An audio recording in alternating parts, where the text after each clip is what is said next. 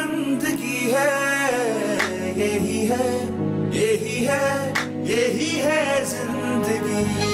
यही ज़िंदगी है यही बंदगी है यही है यही है यही है ज़िंदगी।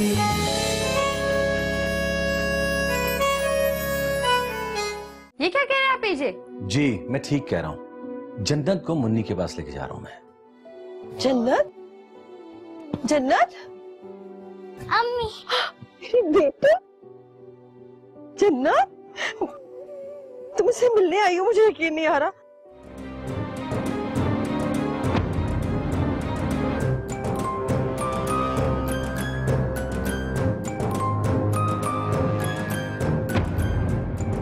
मैंने ना इतने सोने का ठहर रखा था वो नहीं मिल रहा मुझे। हाला? इसका मतलब कंदील तुम्हारा सोने का सेट लेके भाग गई।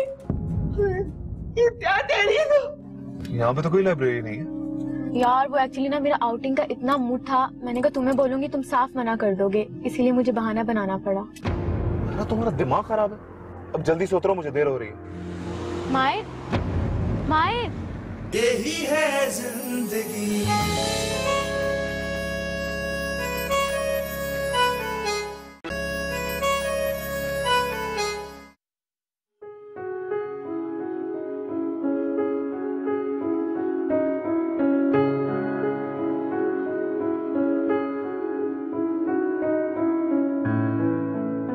आलम? इस तरह यहाँ क्यों बैठे हो? अपने रूम में जाकर सो जाओ ना। नहीं बस मैम ठीक।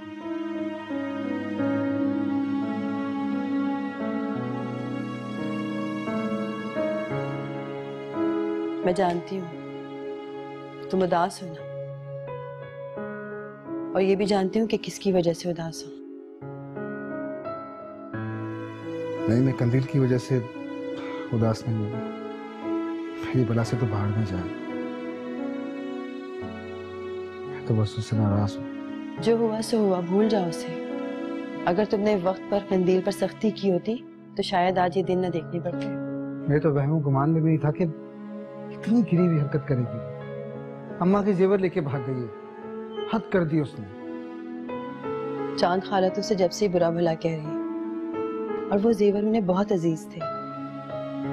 अब बताओ क्या सोचा है तुमने? सोचना क्या? मैंने तो फैसला कर लिया कि मैं कंदील को तलाक दे दूँगा क्या? दिमाग खराब है तुम्हारा? ये क्या कह रहे हो तुम? बिल्कुल ठीक तेरा है ये। मैं तो कहती हूँ आज ही तलाक दे दे ये। प्लीज़ खाला बजाय उसको समझाने के आप उल्टे सीधे मशवरे दे रही हैं उसे। अले थी लड़की तो यही हाल होना चाहिए। उस बेदरद ने मेरा देवर लेते भाग गई मनु तई थी। अच्छी तरह सोच लें आप लोग। फिर कोई फैसला कीजिए। क्योंकि तलाक के बाद कोई गुंजाइश बाकी नहीं रहती। और फिर ऐसा ना हो कि आप लोगों को बाद में पछताना पड़े। अरे पत्ताना तैता वो तो थी हूर पड़ी थी।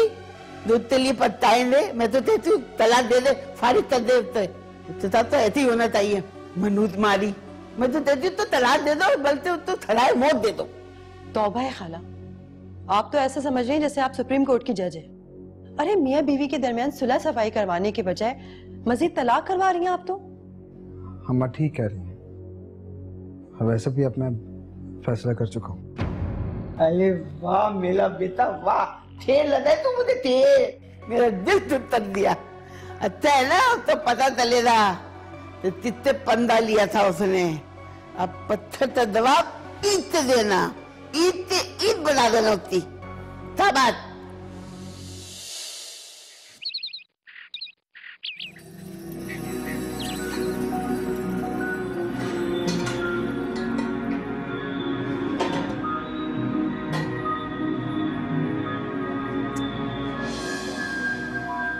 करीना बेटा तुमने अभी तक हसीना को खाना नहीं दिया।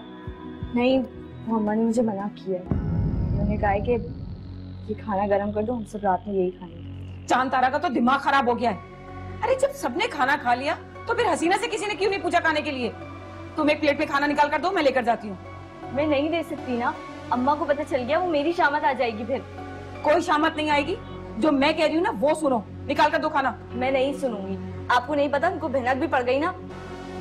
तो बस इधर हटो। मैं खुद ले लेती हूँ। अरे मैं आपको नहीं लेने दूँगी। करीना हटो यहाँ से। मैं आपको नहीं लेके जाने दूँगी। अम्मा ने मुझे मना किया है। मैं कह रही हूँ मुझे खाना लेने दो छोड़ दो ये। खाला मैं आपको नहीं ले जाने दूँगी। अम्मा मुझे सुनाएँगे आपको नहीं पता। हटो यहाँ से। मैं खुद जवाब दे दूँगी उसको। अगर वो पूछे तो कह देना कि खाला लेकर गई है खाना। वो बच्ची बेचारी भूखी बैठी हुई है। किस हाल में है ये भी तुम लोग अच्छी तरह से जानते हो। और फिर भी उसको किसी ने खाने के लिए नहीं पूछा अभी तक। हद होती है तुम लोगों की।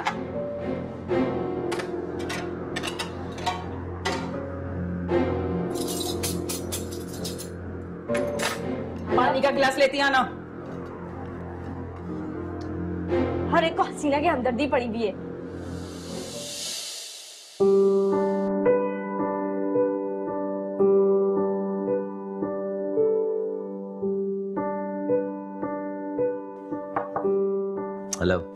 हाय क्या कर रही हैं? चाय पी रही हूँ आए बैठे। आ, नहीं मैं इधर ही ठीक हूँ। एक काम था छोटा सा आपसे। हाँ जी बोले। वो जन्नत को पिक कर लेंगे आज आप? क्यों आज ड्राइवर नहीं आया? नहीं आया तो है लेकिन मसला ये है कि उसको शहर से बाहर जाना है एक ज़रूरी काम से। हाँ ठीक है मैं जन्नत को पिक कर लूँगी स्कूल से। ग्रेट एजे um, आज शाम को हम क्यों ना आउटिंग पे चले? डिनर भी बाहर कर लेंगे। बहुत दिन हो गए कहीं बाहर नहीं गए। मैं आज थोड़ा बिज़ी हूँ ना। आप एक काम करना जन्नत को लेके चली जाना ओके रहने दे। मैं जब भी बोलती हूँ कहीं बाहर जाने के लिए आप बिज़ी होते हैं। मैं जो कुछ भी कर रहा हूँ तुम्हारे और जन्नत के लिए ही कर रहा हूँ। एक दिन की तो बात है। एक दिन के लिए आप फ्री नहीं हो सकते हमारे लिए। अच्छा कल चलेंगे प्रॉमिस मुन्नी जब भी बोलती थी आपसे कहीं बाहर जाने के लिए तो आप फ़ौरन एग्री हो जाते थे। और हमारे लिए आप बिज़ी हैं। ये मुन्नी का ज़िक्र कहाँ से आ गया? अब तो उस घर में नहीं है अब तो उसे बख्श देना आप। वो इस घर में नहीं है मगर फिर भी आप उसकी साइड लेते हैं। मेरा मतलब ये नहीं था। आप मेरी बात को समझने की कोशिश ही नहीं करती। इसलिए मुझे गुस्सा आ गया था। हाँ सारा गुस्सा आपको मुझ पे निकालना होता है। अच्छा बाबा आई एम सॉरी शाम को तैयार रहेगा आप और जन्नत मैं लेके चलूँगा आप लोगों को भाई आप लोगों से ज़्यादा इंपॉर्टेंट कोई चीज़ थोड़ी मेरी ज़िंदगी में। ठीक है? और हाँ प्लीज़ एक रिक्वेस्ट है छोटी सी। मुन्नी का ज़िक्र बार बार नहीं किया। ठीक है? थैंक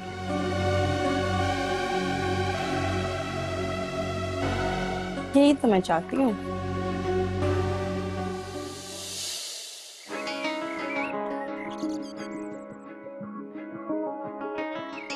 मुन्नी? अगर तू चाय नहीं पी रही तो मुझे दे दे। मेरी वैसी खत्म हो रही है। हद हो गई नन्नी तो पहले अपनी चाय तो खत्म कर ले, फिर मेरी चाय भी पी लेना। और तू कितनी चाय पिएगी? इतनी चाय पीना नुकसानदेह होता है। दिन में सारी पतीली पी जाती है तू। तू ज़ोर से क्यों बोल रही है? हल्के नहीं बोल सकती। अगर उस शैतान की खाला चाँद तारा ने सुन लिया ना तो फिर देखना, हमारी ज़िंदगी अजाब हो जाएगी। वैसे ही वो मेरे खाने पीने के पीछे पड़ी रहती हैं। और हर वक्त उन्हें तो मौका चाहिए, मुझ जैसी कमज़ोर लड़की के बारे में इस तरह की बातें करने का। जाने कब होंगे कम? ऐसे घर के सितम। अच्छा बस बस बस नन्नी खुदा के लिए चुप हो जा। सुबह सुबह सर में दर्द कर रही है। अब तू गाना गाया कर ना तो मुँह बंद करके गाया कर। तू मेरी बहन हो के मेरा बाइकाट कर रही है। तुझे तो मेरी हौसला अफजाई करनी चाहिए। तारीख गवाह है जिन लोगों के घर वाले हौसला अफजाई करते हैं वो लोग बहुत आगे तक जाते हैं। कौन सी तारीफ़ ये तो पता नहीं मुझे। नन्नी तुझसे तो उल्टी सीधी बातें करवा लो। ये पकड़ ये ले। चाय पी। हर वक्त मेरे खाने पीने पे नज़रें रख। थैंक यू बदतमीज।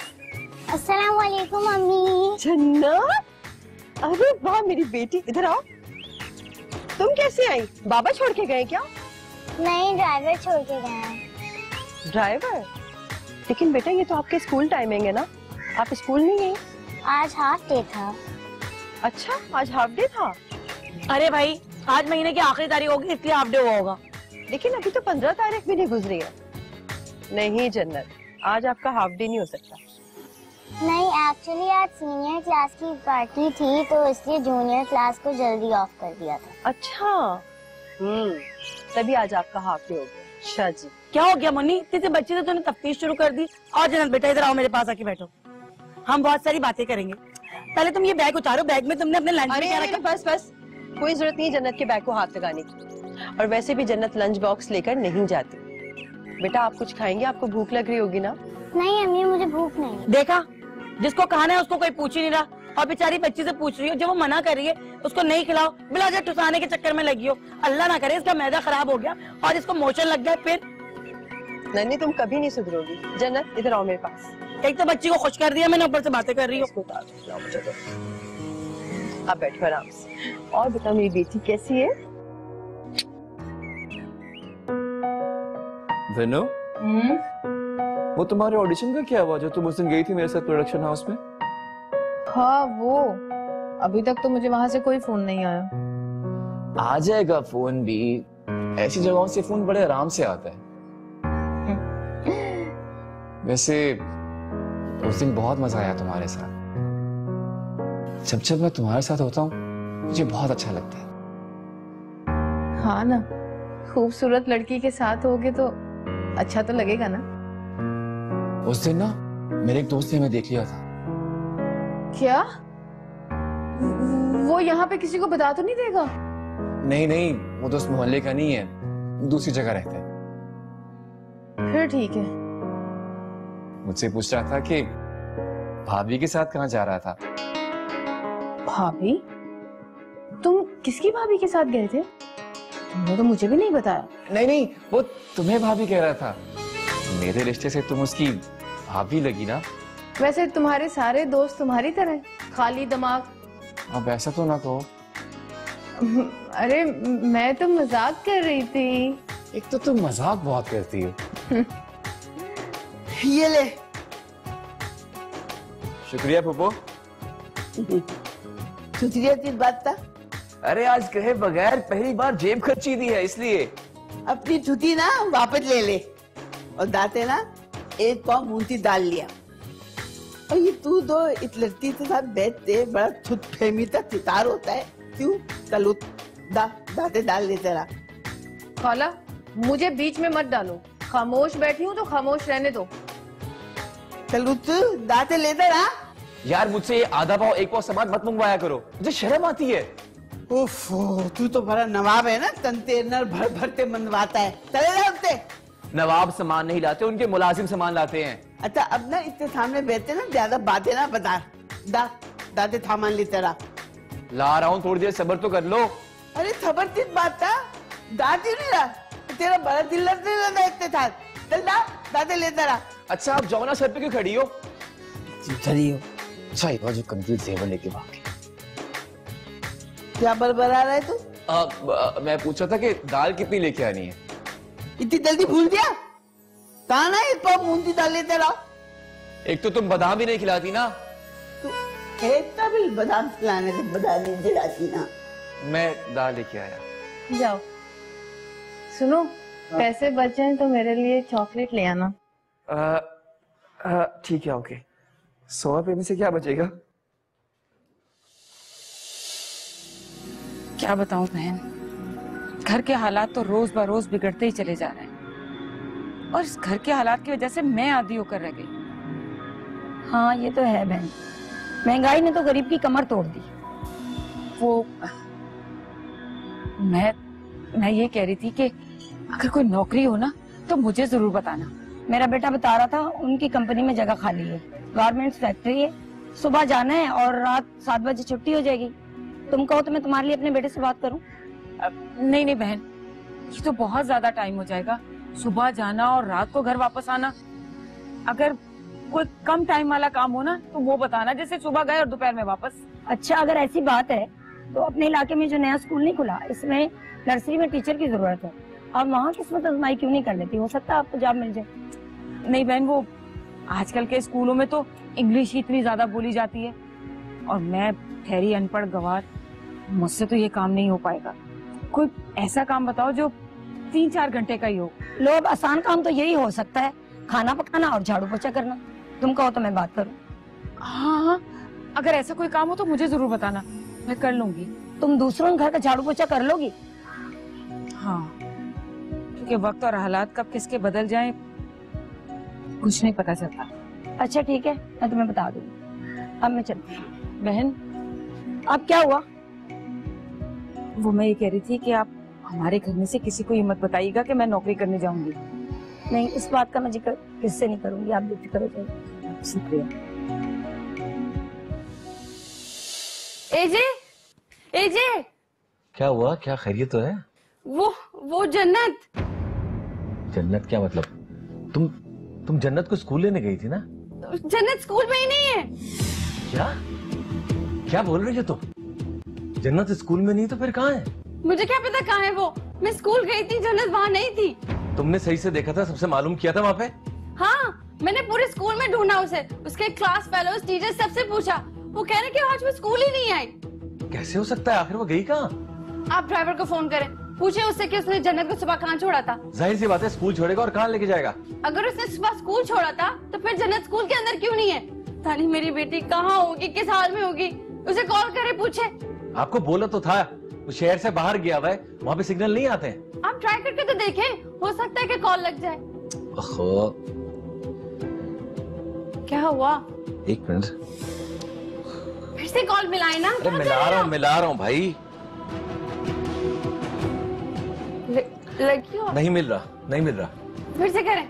नहीं मिल रहा फ़ोन कट रहा है बार बार। हाय मुझे बहुत डर लग रहा है। अगर जन्नत किडनैप हो गई तो? अरे। वो कल से मैं नौकरी करने जाऊँगी। है, है खाला क्या हो गया? क्या कह रही हो? तुम बाहर काम करोगी? अम्मी आपको पता भी है कि आप क्या कह रही हैं? हाँ तो इसमें कौन सी बड़ी बात है? पूरी दुनिया नौकरी करती है और वैसे भी अस्पताल में नौकरी मिली है पर्ची बनाने की। जितने मरीज़ आएँगे उनकी पर्ची बनाऊँगी और घर वापस। अम्मी आप हॉस्पिटल में काम करेंगी।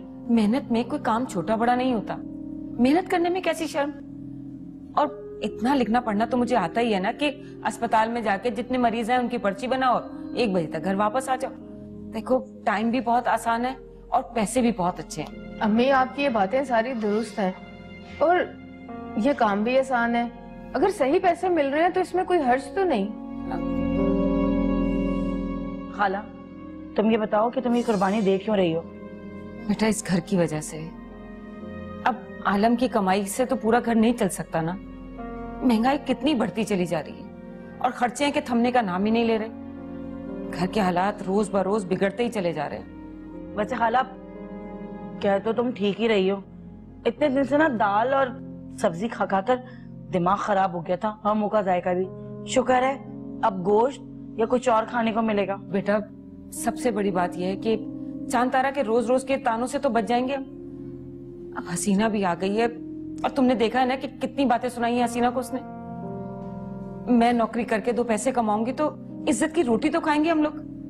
और चाँद तारा का मुँह भी बंद हो जाएगा जो ये कहती है कि पूरा घर वो चला रही है। वो तो है। हर वक्त चाँद खाला अपने एहसान जताती रहती हैं। वैसे हसीना को कितना दुख होता होगा ना? और वो तो बेचारी किसी को कुछ कहती भी नहीं। कुछ कहती नहीं है ना इसीलिए वो बोलती भी है। जिस दिन हसीना बोलना शुरू हो गई ना फिर लग पता जाएगा इन्हें। अच्छा अब छोड़ो इस बहस को। बस तय हो गया कि कल से मैं नौकरी पर जाऊँगी।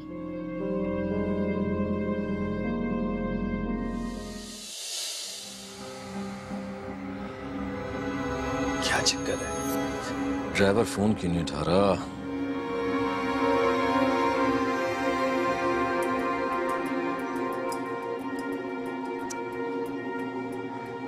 फ़ोन नहीं उठा रहा। रोज ठीक कह रही थी। पुलिस को ही फ़ोन करना पड़ेगा।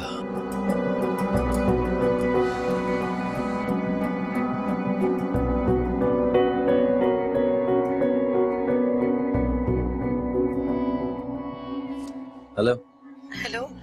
सलामकुम एजाज। यार मनी प्लीज़ प्लीज़ यार मैं बहुत परेशान हूँ।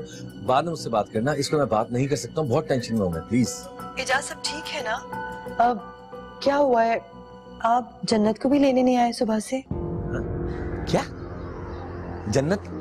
जन्नत आपके पास है? जी जी आज सारा दिन हो गया जन्नत यहीं पर है। यार जन्नत वहाँ है और तुमने बताया तक नहीं मुझे? जन्नत की वजह से इतना परेशान इतना परेशान उफ बता नहीं सकता तुम्हें। कि क्या कह रहे हैं एजाज आपको नहीं पता था कि जन्नत यहाँ है मेरे पास? यार ये सब कुछ करके तुम साबित क्या करना चाह रही हो? ये कि मैंने तुम्हें घर से निकाल दिया है। तुम बदला ले रही हो मुझसे? इजाज मेरी बात सुने ऐसी कोई बात नहीं है। मुझे तो पता ही नहीं है कि सब क्या है। यार मैंने कोई बात नहीं सुनी तुम्हारी। प्लीज़ मैं जन्नत को लेने आ रहा हूँ। और मुन्नी आज तुमने सारी हदें पार कर दी हैं। मैं मैं जन्नत को लेने आ रहा हूँ। हेलो? हेलो? खुदाया जन्नत ने घर पे नहीं बताया था। मुझे देवर बनवा दे दे। अम्मा ये कौन सा नया दौरा पड़ गया तुम्हें? तेरी बीवी मेरा देवर लेते भागी है। तो तू ही बना दे देता ना? अरे तो मैं तो यही हूँ ना वो भागी है ना। मेरा दिमाग क्यों खराब कर रही हो? उसको जाके पकड़ो। यही है ज़िंदगी।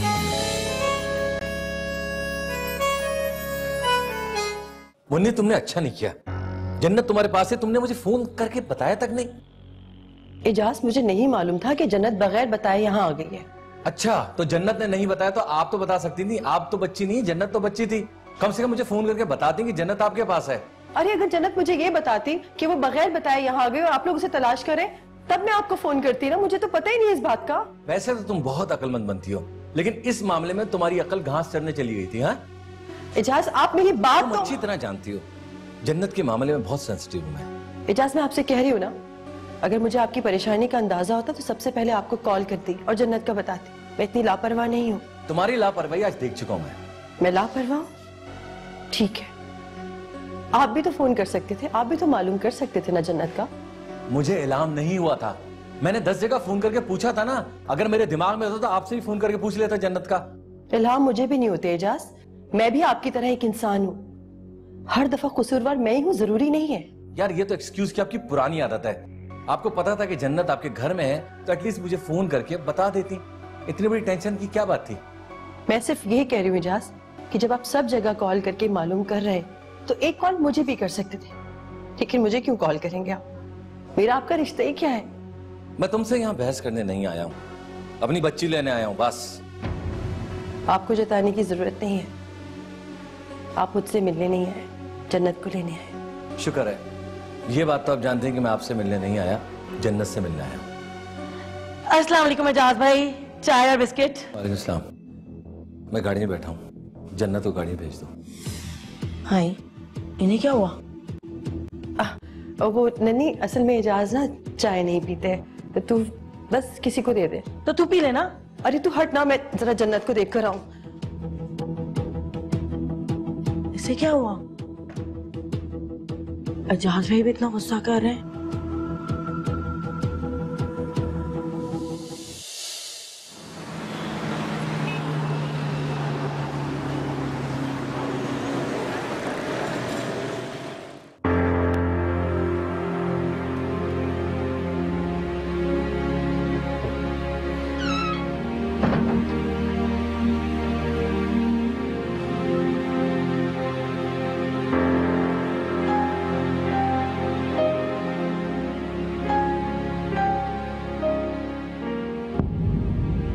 जरा ख्याल नहीं आया वहाँ पे जाते हुए?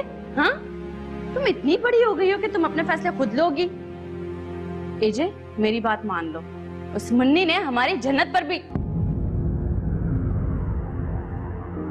देखा? देखा उसने हमारी बेटी को क्या बना दिया है? जन्नत पहले तो कभी ऐसी नहीं थी। एजे, मैं आपसे बात कर रही हूँ। जी जी, मैंने सुन लिया है। अब जो मैं कह रहा हूँ ना, उसको ध्यान से सुनना। जन्नत बच्ची है और उसको जहाँ तवज्जो मिलेगी वो वहीं जाएगी। समझ गए? तुम्हें माँ होके उसे तवज्जो नहीं दे रही और वो गैर होके उसे तवज्जो दे रही और अपनी तरफ़ अट्रैक्ट कर रही है। आप क्यों नहीं समझ रहे जे मुन्नी कितनी चालाकी से ये सब कुछ कर रही है। वो तावीज और जादू की ज़ोर पे हमारी जन्नत को हमसे दूर कर रही है। मैं अच्छी तरह समझती हूँ इस मिडिल क्लास मेंटालिटीज को। आप जन्नत के सामने उल्टी सीधी बातें मत किया करें। ये जादू तावीज़ वगैरह की। समझ गए आप? वो छोटी बच्ची है। तो क्या असर पड़ेगा इन चीज़ों का हाँ?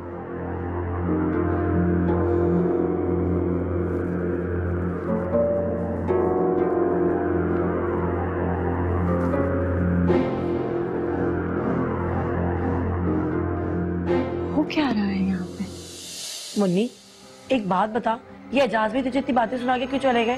सारी गलती उनकी औलाद की थी। और बातें सुना के तुम्हें चले गए। वाह भाई वाह।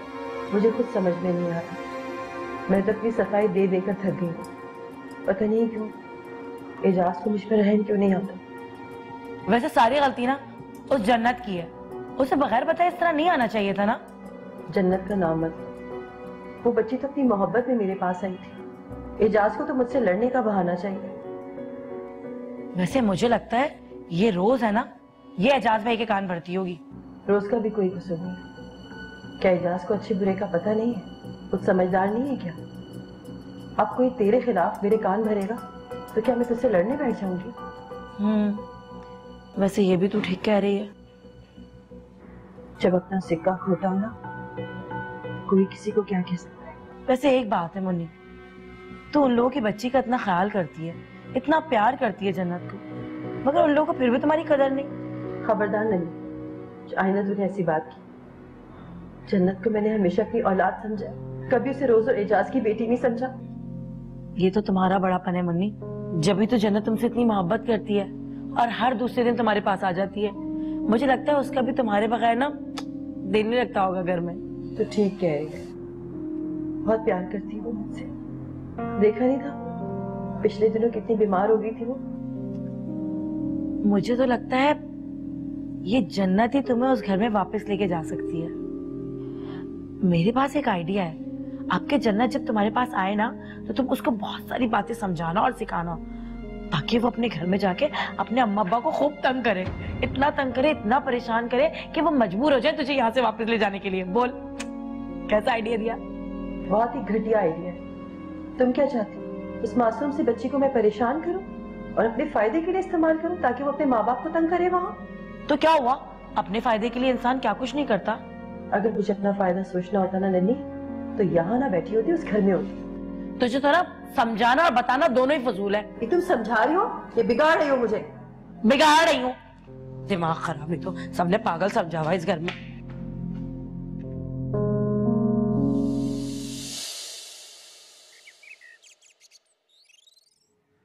मुझे देवर बनवा दे दे। अम्मा ये कौन सा नया दौरा पड़ गया तुम्हें? तेरी बीवी मेरा देवर लेते भागी है। तो तू ही बना दे देता ना? अरे तो मैं तो यही हूँ ना वो भागी है ना। मेरा दिमाग क्यों खराब कर रही हूँ? तू जाके पकड़ो? अरे तो ताजे बदरूजी में। मैं भी क्या कर सकता हूँ? भाई मैं मैं- पैसे नहीं मेरे पास इतने सारे मैं नहीं बनवा सकता। मैं मैं तुझ भी नहीं जानती। मुझे देवर बनवाते दे उधार ले तोरी चढ़ दाता डाल। तुझ भी तल ले। मुझे मेरा देवर चाहिए। इतना भारी देवर था मेरा। तेरे अब्बा की हाजिरी निशानी थी वो। और अब्बा की इतनी बड़ी निशानी जो तुम्हारे सामने बैठी हुई है और वो बालम वो कुछ भी नहीं। निशानी बड़ी आई। ऐसी निशानी। तुम दोनों भाइयों तो मेरा जरा भी ख्याल नहीं है।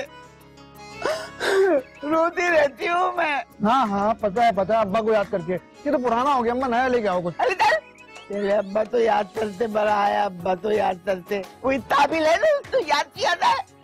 अरे मैं तो अपने देवर के लिए रोती हूँ। अम्मा तुम क्या अठारह साल की लड़की बनी हुई हो? इस उम्र में करोगे क्या तुम जेवर का?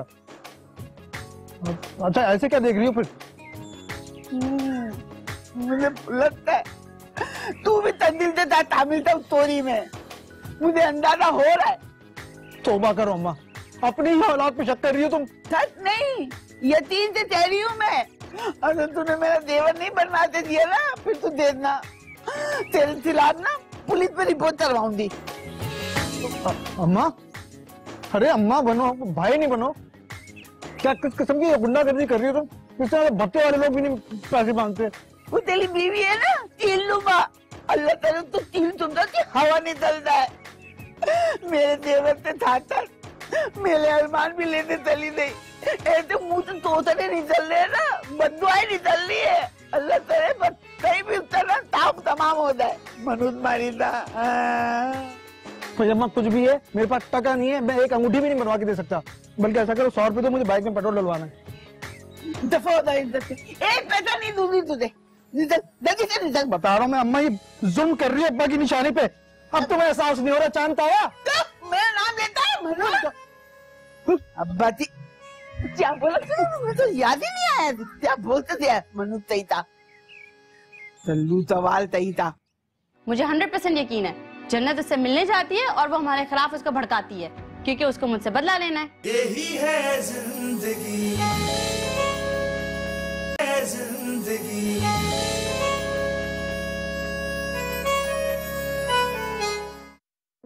तुम्हें मैंने जन्नत को स्कूल छोड़ने के लिए कहा था हैं? और तुम उसे मुन्नी के घर ले गए क्यों? सर वो जन्नत बीबी जो है ना स्कूल जाने के लिए राज़ी नहीं थी। मुसलसल मुन्नी बाजी के यहाँ जाने की जिद कर रही थी फिर मजबूरन मुझे उनके यहाँ छोड़ना पड़ा। तुम मुझे कॉल करके बता तो सकते थे कि जन्नत स्कूल नहीं मुन्नी के घर पे है। सर उन्होंने जन्नत बीबी ने मुझे मना किया था कि मैं आपको ना बताऊँ। और तुम बच्ची की बातों में आ गए। आइंदा ऐसा नहीं होगा। आज के बाद अगर ऐसा हुआ ना तो अच्छा नहीं होगा। नौकरी से निकाल दूँगा तुम्हें समझ गए? सर आइंदा ऐसा नहीं होगा। चलो जाओ। ड्राइवर को क्यों डांट रहे सारी गलती तो उस मुन्नी की है। मुझे तो लगता है मुन्नी ने जन्नत को बहकाया होगा। भाई मुन्नी को तो पता ही नहीं था। जन्नत बगैर बताए यहाँ से गई है। उसने कह दिया और आपने मान लिया। यही तो आपका सादापन है जिससे वो फ़ायदा उठाती है। मैं तो कहती हूँ आपको चार बातें सुना के आनी चाहिए थी। हाँ हाँ मैंने उसे बहुत डांटा अच्छी खासी बहस हुई मेरी उसके साथ। बहस करना तो उसकी आदत है। तुम्हारी आदत तो नहीं है ना? तो फिर क्यों बहस करी मुझसे? आप इतना चिढ़ क्यों रहे मैं तो सिर्फ़ एक बात कर रही थी। यार सुबह से टेंशन ले लेके थक गया हूँ। मेरे असाब जवाब दे गए हैं। अच्छा अब आप आराम करें। यार प्लीज़ आप जन्नत को समझाएँ। आइंदा ऐसी हरकतें ना करें। अगर खुदा ना खास्ता मुन्नी के बजाय कहीं और चली जाती है कितनी मुसीबत आ जाती है हमारी। प्लीज़ उसको समझाएँ कि सीधा यहाँ से स्कूल जाए और स्कूल से वापस घर आए। जन्नत ने आज से पहले तो ऐसा कभी नहीं किया। अगर आज तो कर दिया ना। ये भी उस मुन्नी के कहने पे किया होगा। मुझे हंड्रेड परसेंट यकीन है। जन्नत उससे मिलने जाती है और वो हमारे खिलाफ उसको भड़काती है क्योंकि उसको मुझसे बदला लेना है। कमाल है यार। आप घूम फिर के फिर वहीं आ जाती हैं। यार आप जाएँ यार। मैं जन्नत से खुद बात कर लूँगा।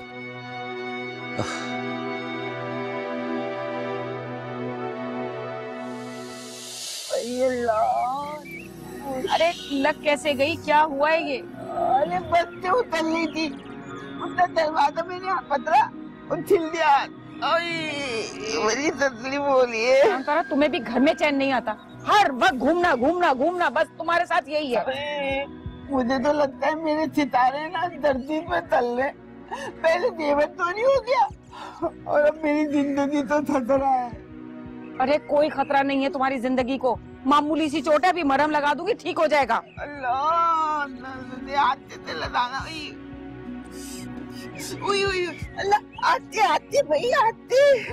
लगाने तो दो बच्चों की तरह से कर रही हो। हो रहा है मुझे हो है। ये मामूली सा जख्म है और इतना शोर मचा रही हो तुम। जलन होती ना फिर पता चलता। नानी अरे अभी आराम आ जाएगा क्यों खामा खामे शोर मचा रही है? ओहो क्या हो गया? क्यों शोर मचा रही है खाला? अरे बेटा चोट लग गई है उन्हें। दिखा ये दे दो। उई, बड़ी जलन हो रही है। से भी सुकून नहीं मिला मुझे। ये चांतारा दवा लगाए देरी कितनी हुई है? थोड़ी देर के बाद ही आराम आएगा ना दवा भी असर करने में टाइम लेती है। तुम्हें होता ना फिर पता चलता इतनी जलन हो रही है मुझे थोड़ी अम्मी ऐसा करो कि मेहंदी लगा दो। अरे मैं मुझे यार तकलीफ़ हो रही है और तुझे मेहंदी से पहली हुई है। खाला तुम मेरी नीयत पर हमेशा शक ही करना। मैं तो अम्मी से ये कह रही हूँ कि तुम्हारे जख्म पर मेहंदी लगा दे। मेहंदी से ठंडक मिलेगी। हाँ वादी तो, तो ठीक कह रही है मैंने मॉर्निंग शो में देखा था टोटका है ये। और वैसे भी मेहंदी की तासीर तो ठंडी होती है ना। बस तुम्हारी जलन खत्म हो जाएगी। हाँ सही कह रही है। ऐसे तो मेहंदी धोलते ला दे और मुझे लगा दे जल्दी से। पर मेहंदी कहाँ है घर में? अरे वहाँ रखी हुई है ना। मैंने अपने बालों में लगाने के लिए रखी थी। पर ये डाल दिया जल्दी से अच्छा भाई लाती है बहुत जलन हो रही है हाँ तो हाय हाय अभी ठंडक पड़ जाएगी। खाला टेंशन ना लो। अरे कितनी बार बोला है। मुझे ना नीचे तो किराया दे दिया करो। मैं तो मेरी सुनता ही नहीं है। अब दे तो। तकलीफ़ तो मुझे उठानी पड़ रही है ना। किसी तो थोड़ी हो रही है। ठीक कह रही हो खाला। कराची की बसें सफ़र के काबिल ही नहीं है। बल्कि कराची की बसों को तो म्यूज़ियम में होना चाहिए। अरे अरे तेरी माँ मेहंदी लेने नहीं है या बनाने नहीं है? पत्ते तोड़ने नहीं है। अरे जात देते रहा जल्दी से लेते रहा मेरे हाथ में बहुत जलन हो रही है। उफ, उफ, उफ। क्या हो गया खाला? थोड़ा सा सबर नहीं कर सकती? अरे तू चले जाई थी तो तुझे जब मौत आ गई थी जल्दी से लेते रहा एक तो मशवरा भी दो और ऊपर से मैं ला कर भी दूँ। तुम ठीक जा रही हो खाला। हाँ तो था बहुत दर्द हो रही है तुझे क्या पता? जा रही हूँ जा रही हूँ। ओवर एक्टिंग मत करो। चली जा यहाँ से बलिया ही हो लेती मैं चल रही हूँ। अल्लाह तेरे इनको हो सुधा करते फिर पता चलेगा। अम्मा मेहंदी खोल। दी अम्मा कहाँ है? अच्छा तो मेहंदी यहाँ पड़ी है और अम्मा खुद गायब है। बेचारी खाला इतनी तकलीफ़ में है। चलो मैं ही मेहंदी लगा देती हूँ।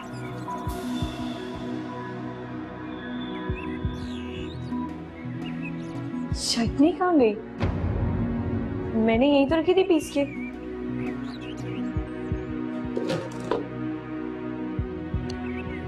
यार से कहाँ जा सकती है? अच्छा तो ये नन्नी के कारनामे मैंने उसको बोला था कि थोड़ी सी ले लेना, वो पूरा कटोरा ही दे गई देख कर आती अम्मी तो मिली नहीं। मेहंदी मिल गई। अरे अम्मी थी थोड़ी जलन लगती अरे जल्दी से लगा ले बड़ी जलन हो रही है मुझे बड़ी जलन हो रही है। क्या हुआ लगता है बड़ी ठंडक मिल रही है अरे मेरा हाथ अरे ले आई ले आई मेहंदी। अल्लाह अल्लाह अल्लाह। जलन हो रही है अम्मी अगर तुम्हारे हाथ में मेहंदी है तो फिर ये क्या है? दिखा जरा मुझे ये क्या है। अरे ये तो चटनी है।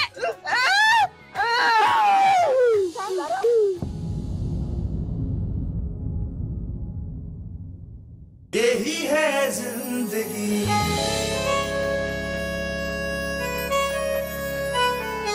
यही है ज़िंदगी।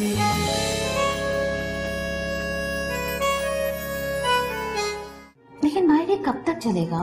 आखिर कोई कंफर्म जवाब तो हो जो हम सबको दे सकें। हम कह सकें कि अब हमारा उस औरत से कोई ताल्लुक नहीं है। जन्नत मुझे सच सच बताओ कि मुन्नी ने आपसे क्या कहा? कि ये बोला कि आप स्कूल ना जाओ उसके घर चले जाओ? बताओ मुझे जल्दी। और अगर तुम मुझे नहीं बताओगे ना दोस्त क्या हो रहा है ये सब? सारे मोहल्ले की लड़के मज़ाक उड़ा रहे हैं कि कनवीर भाभी सारे घर में चोरी करके भाग गई है। जो चीज़ें तकलीफ़ देती हैं उसे खुद से जोड़ कर मत रखो। क्योंकि अगर जख्म जिसम के साफ़ हिस्से पर भी लगे, तब वो उसे भी खौफ कर देता है। यही ज़िंदगी है, यही बंदगी है, यही है यही है यही है ज़िंदगी। यही ज़िंदगी है, यही बंदगी है, यही है यही है यही है ज़िंदगी।